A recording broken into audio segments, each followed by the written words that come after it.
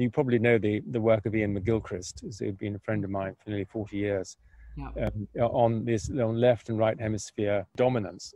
I think his fundamental point that we live in an imbalanced left hemisphere literal world, um, which doesn't understand the symbolic, uh, and which you also see in, in, in, reductionism in science, which you were mentioning a moment ago, which then devalues these other ways of knowing.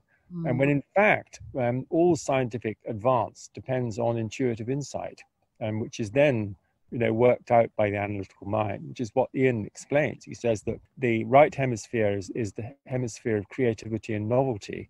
Mm-hmm. And once you've had an insight, um, as Einstein also expressed, then you can send it back to the left hemisphere for processing and a discursive exposition of it.